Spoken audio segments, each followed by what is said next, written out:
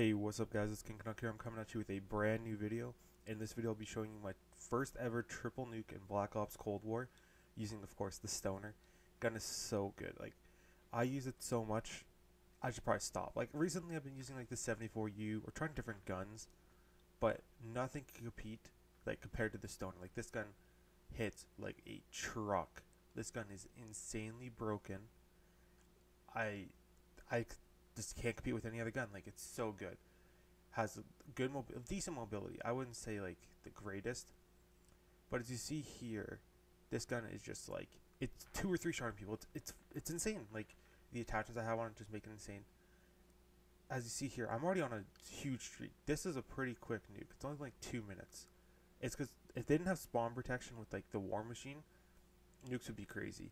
I just seen on Twitter that um what's it called? Hardcore actually might be decent, so I actually might switch to playing some hardcore Nuketown, see how that goes.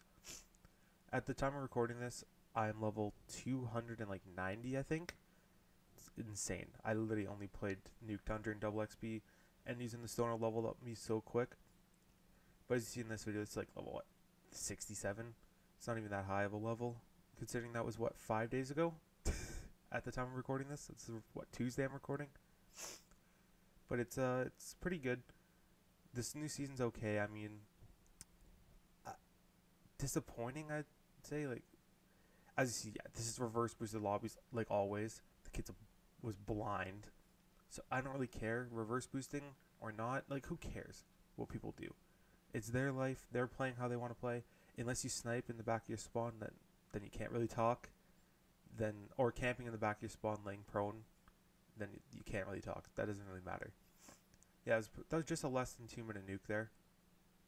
And died there, and then I think I go, I go for back to back. I went for three straight lives with three straight nukes. That's pretty good, I'd say.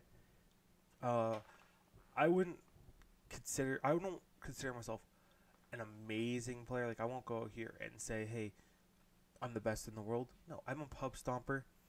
The way I play, is I like that fun, you know, shitting on noobs. That's the whole point of COD. If people that complain about reverse boosting are the ones that can't afford two accounts or the ones that are getting stomped. Like I have YouTube as my clan tag and my my YouTube channel is my name. And I had people coming in there on my chat comment on my channel like you're insane. But they know, like they're not like it's reverse boosted. So like I'm not gonna say you know I'm good. You could think I'm good. I don't really care. I know I get hate on my TikToks. Like, it's funny with my TikToks actually when they just say I have reverse boost. Like, no shit, I reverse boost. But the second nuke as well, pretty quick nuke. It's like a two minute nuke. They started quitting. Like, and but at least people connect really quick in this game. I think I dropped in the end of this game. I had like 150 kills, but this harp they added to the game, lifesaver. It is so good like them adding this harp made the game so much more enjoyable. Knowing where they're spawning, considering they broke the spawns on Nuketown, where they'll it's like the BO4 spawns, like they'll spawn mid map on the jeep. It's it's pretty whack, considering I, they'll just spawn there random times. Like they need to fix sort of the spawns where the fact I could be sitting in in mid map and they'll spawn behind me.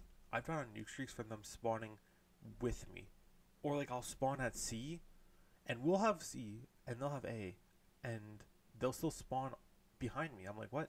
I just spawned died like from getting shot in the back because there was some guy that spawned on the other side of the backyard from me. But it's okay. See, I got my brutal here. This is a little less, a little more than a two minute nuke. But if you're going to play Nuketown, your best bet if you're reverse boosting, or even playing like if you're not that great, this gun takes no skill to use. I'll tell you that now. Gun you have the last barrel on it. It's all you need. Last barrel and 150 round mag, which when you use the the fat the bigger barrel, you'll have less ammo per clip. I'm pretty sure that's how it works. I think that's what what it does. And then you'll start with 160 rounds. That's not even that bad. Or 160, yeah, 116 rounds. That's pretty good. And then the kill streaks you'd want to run on Nuketown. My opinion, I've switched on my kill streaks somewhat you want to use the armor, grenade launcher, and the harp. Harp is a must if you're a decent player. Like I to get kill streaks in the game. Mm, excuse me. To get kill streaks in this game, it doesn't really take much skill. Like you could progress to get it throughout the game. Like it's not hard. Like I'll go and get like four or five harps a game if the game lasts as long, and I get a lot of score. Like I get like around fifty thousand score on domination or hardpoint easily if the games last long enough. But when I play, like when my team is just cap out, it's pretty bad. But that's not that's to be expected when you're playing with like bots on your team. They'll cap out. But uh, I had all their gameplays. I haven't. I didn't record them sadly because I'm always in the Discord call and I don't record. Where I dropped a 104 gun streak. After I dropped a 100 gun streak, like I was going insane with this stone. Like it's good to control spawns. To use this gun, like I would use different guns, but they don't hit as hard, and they don't have as much ammo. Like I've been using the 74U recently, which is a good gun. Don't get me wrong. I've dropped a bunch of nukes with it already. I've choked triple nukes with it. It's just the fact that I cannot. My playstyle, I like to run around. And if I'm running around, I can hip fire with this gun, and it's fast time to kill. It's pretty good. But as you see, I'm playing really uh, not so aggressive here because you really can't. You have to figure out the situations to actually run around with this gun. You can't just go full balls to the wall like I usually do, and I get a lot. I get some decent amount of deaths for it because I don't really. I don't play smart sometimes. If I play smart on Nuketown, I sit back a little bit. You don't want to run into their spawn because you don't want to flip them as well.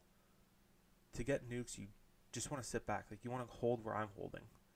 I mean, you could run into the building and watch when they spawn, but their spawning isn't as like they don't spawn in front of the in front of the gate anymore or in front of like the backyard gates because they they actually spawn like in the middle C like the C in the backyard in the middle of it so you could wallbang that and it's really good to wallbang with the stoner it's got shreds through the wall bangs it's it's broken But um, as you see, I'm about to get the triple nuke here. I could have got a quad. I've choked a couple quad nukes. It's just the fact, like uh, like I said earlier, teammates. It depends on how your team plays. Like if you have decent teammates that just sit back and just chill and don't constantly flip spawns, it's fine.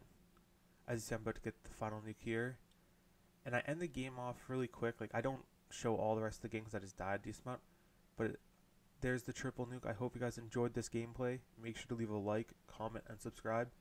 And have a good day. Peace.